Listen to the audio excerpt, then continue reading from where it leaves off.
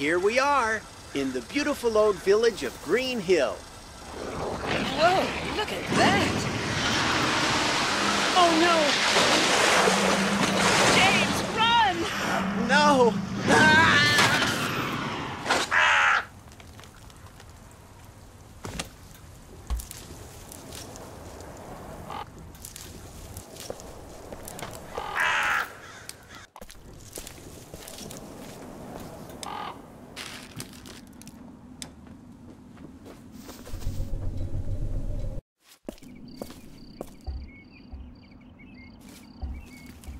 The policeman left me here while he went to look for my parents, but now I can't get out of the car. Can you help me? Who's here? Help me! No!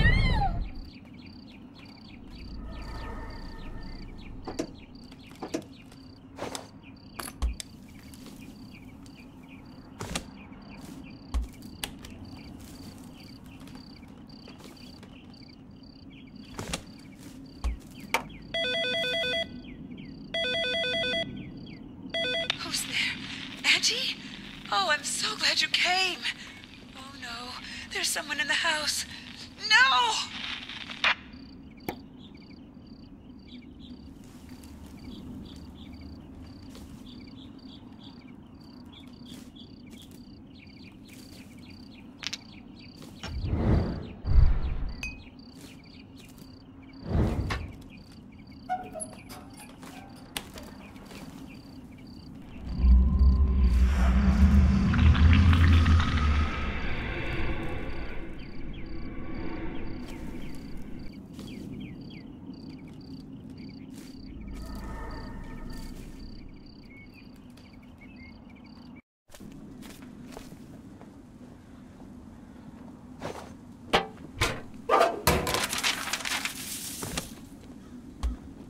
Sheriff, our family was very scared after John went missing. I understand it is a difficult situation in the city, but if you have time, please let us know how the investigation is going. We are so worried about John.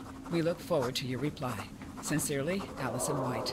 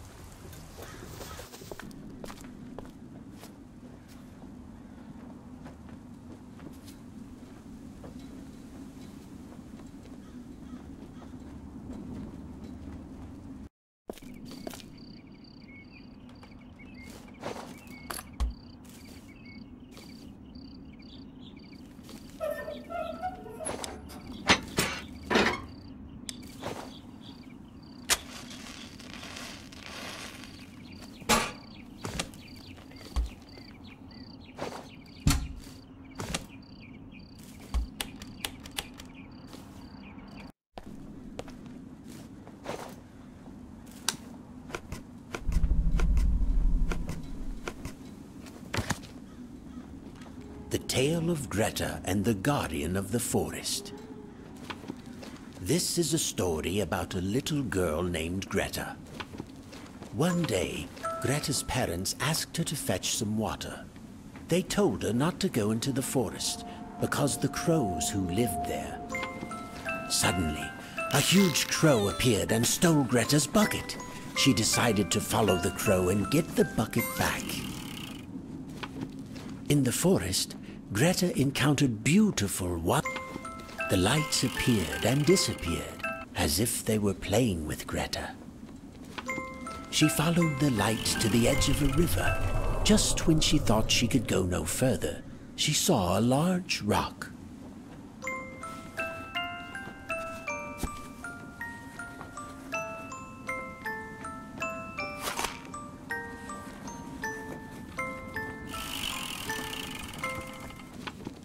Greta came to a dense thicket. Greta was scared. She knew she had disobeyed her parents and was in great danger. just when it seemed Greta's tale was ending, a new friend arrived a fox. But this was no ordinary fox. Her skin was glowing with flames. The crows became frightened and fled.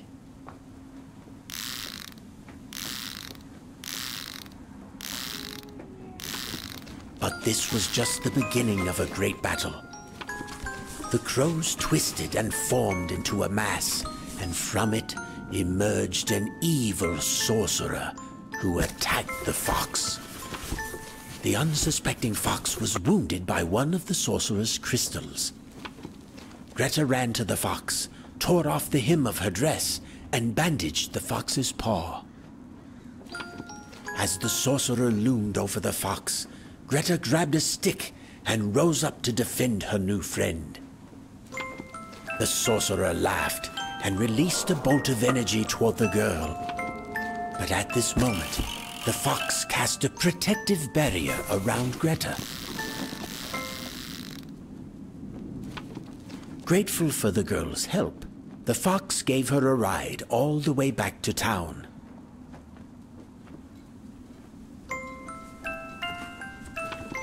Greta's parents were grief stricken and mourning the loss of their daughter. But suddenly, Greta appeared from out of the forest. The family was reunited. Thus ends the tale of Greta and the Guardian of the Forest.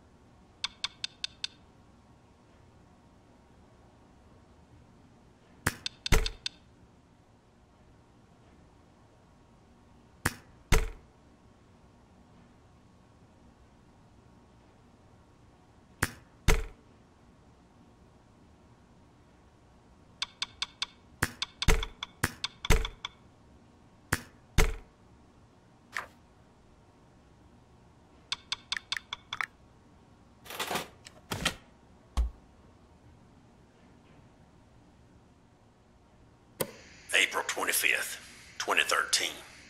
Stephen Brown's disappearance was the tip of the iceberg. At the moment, 20 people are missing. According to the eyewitness, they were all attacked by a flock of crows before disappearing. Who are you? What do you want? Where is he? Where is who? Who are you talking about? Answer me.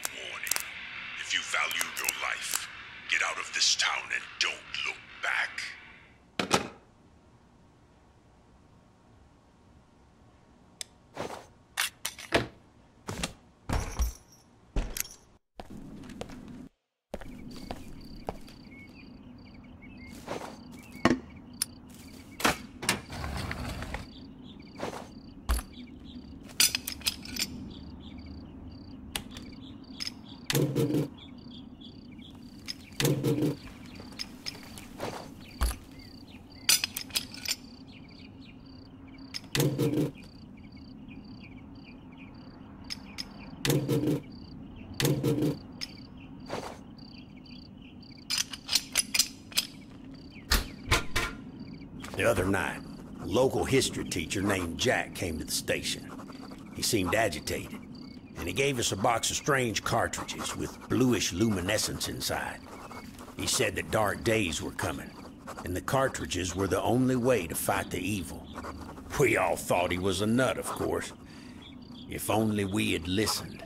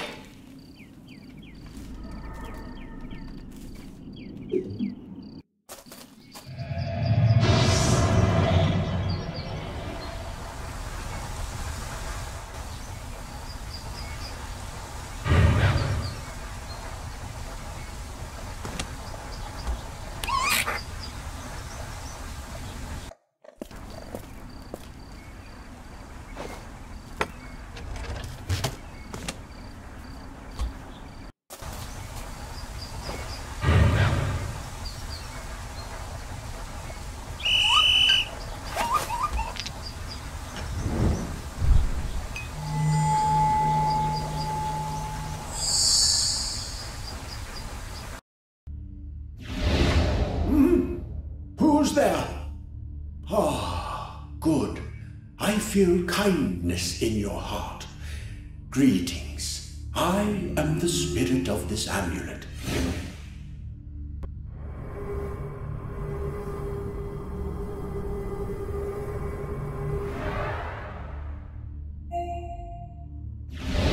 There is great trouble at hand. The amulet has been badly damaged. You must restore it to stop the coming darkness.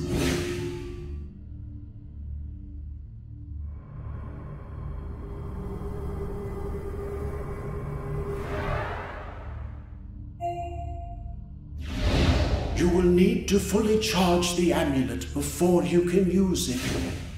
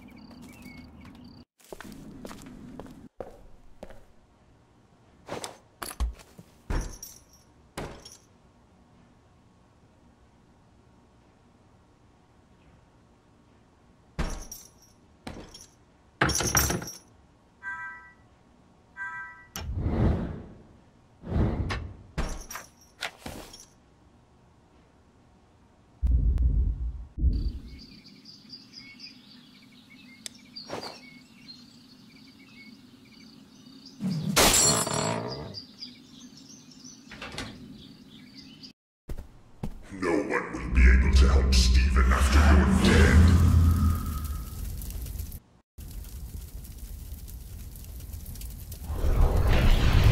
How dare you interrupt me?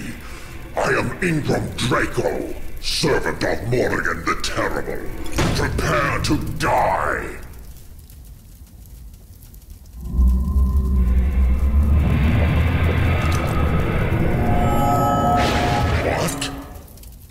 Amulet of power to protect you. This isn't over. We will meet again.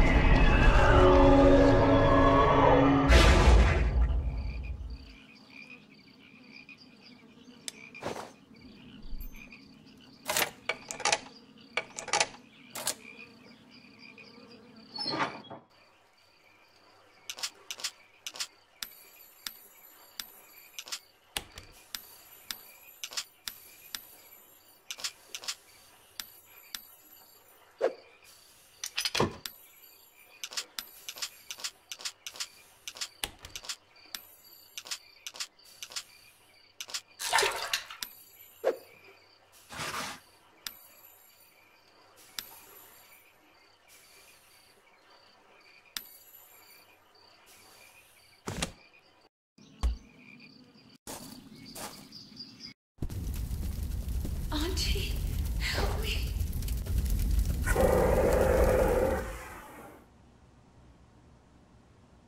Oh, thank you for coming. So much has happened. I don't know where to start. I was attacked by crows and then by a huge bear. Stephen is missing and the police can't find him. And then that man, Ingram. I don't know what he wants from me. I marked on this map where we were camping when we were attacked. I know Stephen is still alive and he needs help. But now I'm too weak from the fire. Please, look around this place. There might be a clue about where Stephen might be now.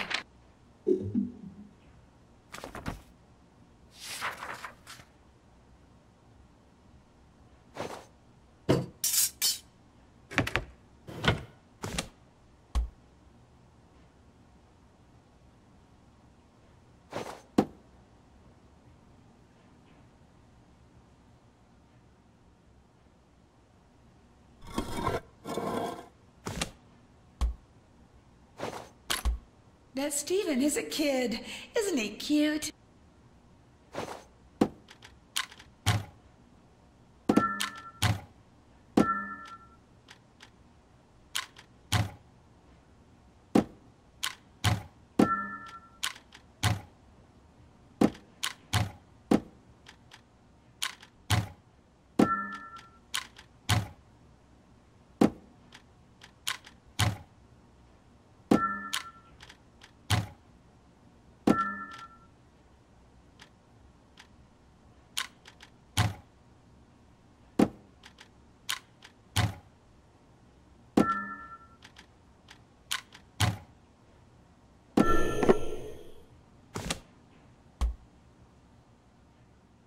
Thank